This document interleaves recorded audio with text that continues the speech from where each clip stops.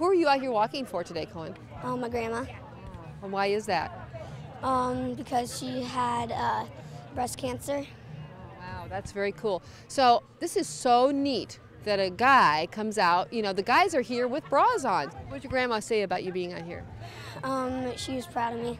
I'll bet. I'm a survivor. So Tell me who this is that's walking with you today. this is my grandson Cohen and my husband and my son and my daughter-in-law. You've got quite a team. I do have a team. They got me through last year and last year I did this walk bald. So I have hair this year. So